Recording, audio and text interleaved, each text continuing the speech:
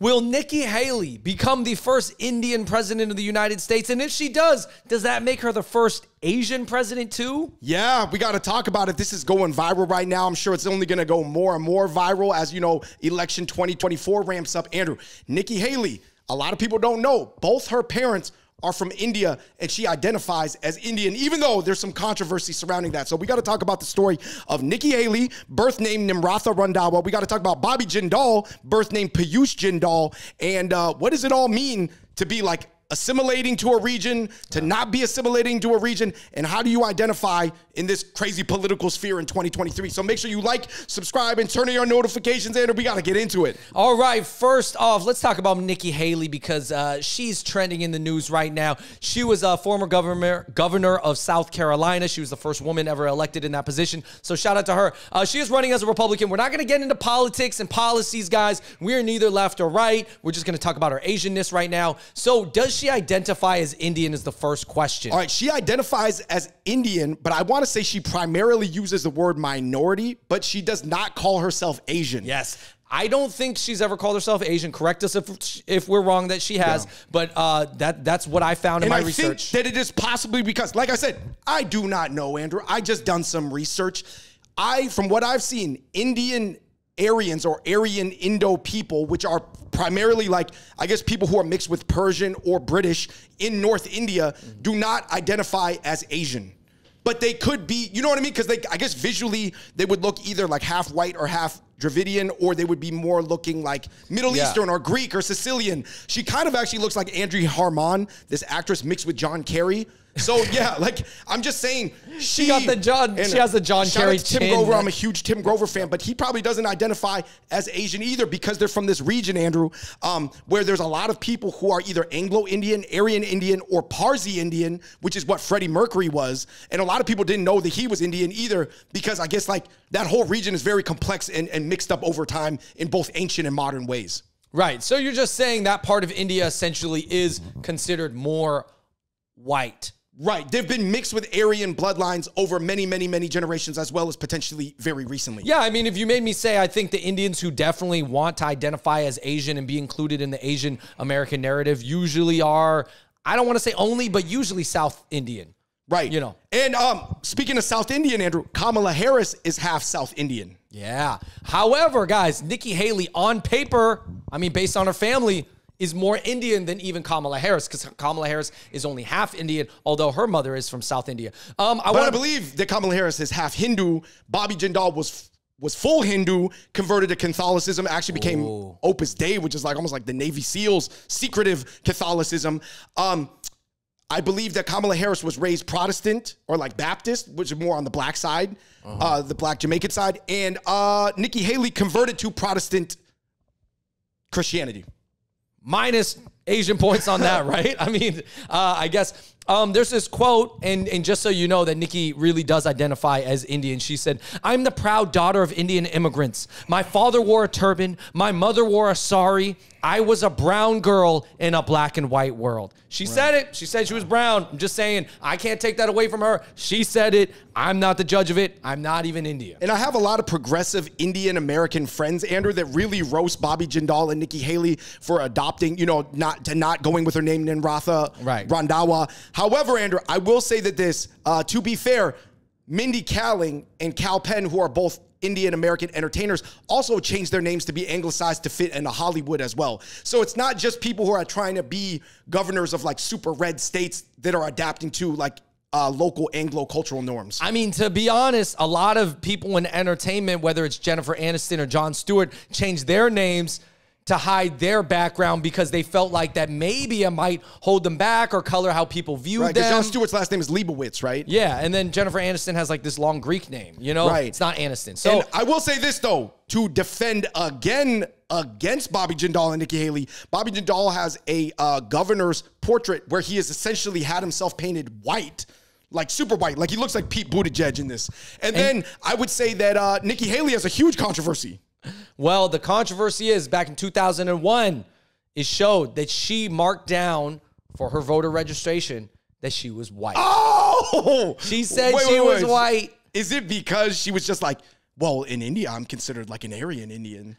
Because actually, she actually looks a lot like this Sicilian woman who became an Indian politician by marrying an Indian guy and had a son who was a politician. And she like always wears a sari. And it's crazy because she almost looks like Nikki Haley, but she's full Italian. I mean, to be fair, Nikki's parents both look pretty Indian, but the way she turned out and the way she was born, she looks more white. So I don't know. It might be a genetics thing. As somebody who knows about 23andMe, Andrew, even amongst different siblings, sometimes that 25% or whatever, you know, European, it comes out differently in each kid. Because uh, Kamala Harris has a sister who probably you would say looks Indian. Yeah. But Kamala Harris herself looks white and black. You know what? Two questions really come to mind, David, that are important. Is one, how is the left, the Democrats, going to react to this when Nikki Haley is running as a minority? Because you know how, like, you know, being a minority and playing identity politics is very important right now because there's a lot of voters on both sides that are are colored people, Right. Right. So you might want to play to them and say, hey, hey, I'm I'm a minority. You got all the other minorities in our party. You know, you vote for me,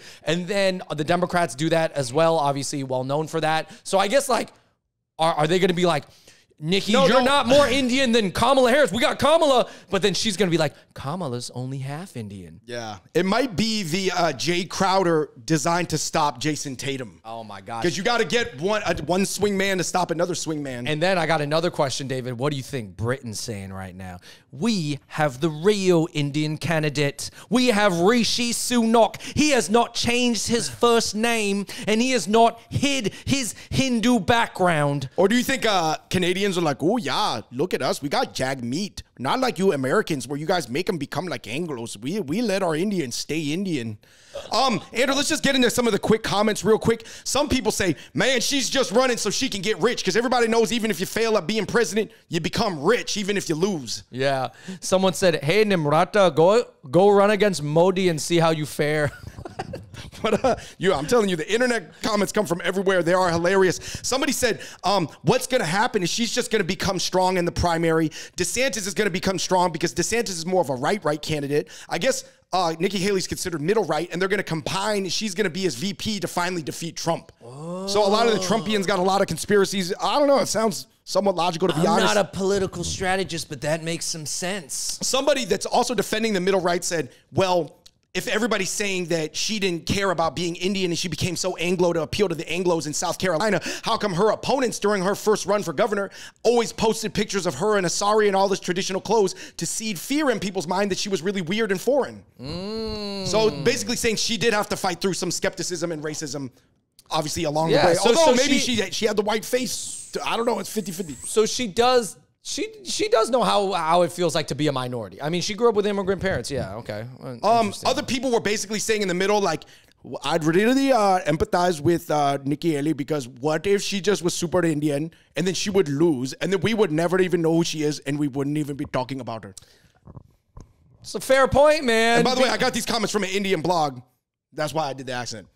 Uh, she says, uh, oh, here's another comment. Jindal, Nikki Haley, Ben Carson, Michael Steele, they have all been metamorphosed into old white men to such an extent that on the days when they don't see the mirror, they forget that they do not look like an old white guy.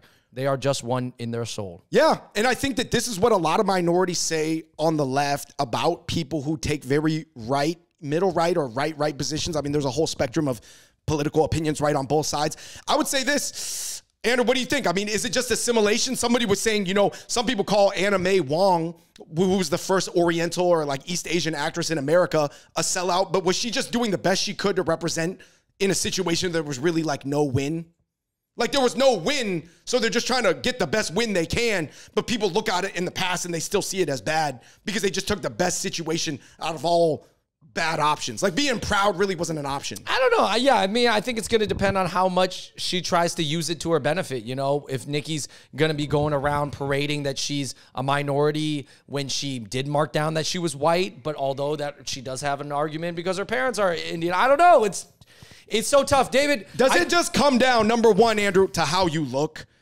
Does it just come down to how you look? Because I would say Bobby Jindal is almost more right, I believe, politically than Nikki Haley, but he has the Indian wife and he looks very Indian. So he's not even going to get the same opportunities to become president, even though he ran in 2016 like Nikki Haley does, because Nikki Haley still passes visually that emotional, like you're part of the same tribe as me test. Yeah, I don't know. I guess it's an equation. I'm sure your looks, I, I think it makes up a significant amount. I'm not sure what, but.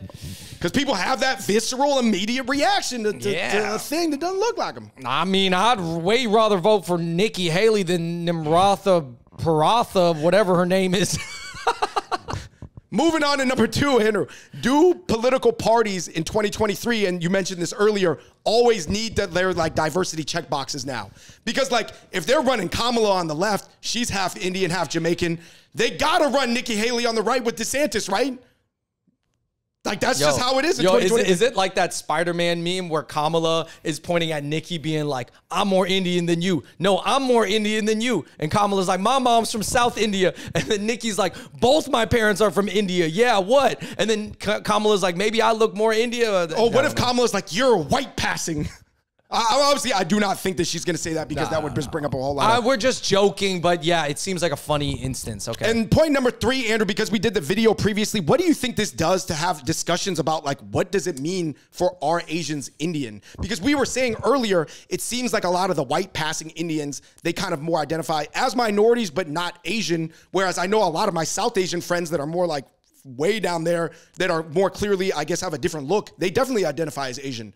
Yeah, I mean, I think it comes a lot to how you're raised. Um, but yeah, I mean, maybe India split. I mean, to be honest, like I don't think all Indians think the same. Yeah. I think maybe the ones more from the north they identify less as as Asian, you know, and then the ones from the south. And the- I guess like technically, be even based off the flow of like I guess European bloodlines, there is some logical explanation for that. Yeah, but I mean, we have Bengali friends, and Bangladesh is closer to Asia. It was once part of India, but now, I mean, well, it's ba- part of part of Pakistan. Oh yeah, and then all uh, Bengali friends, they all consider themselves Asian right. for the most part. You know, so I guess. Uh, I don't know, man. You guys let us know in the comments down below. What do you think about all this?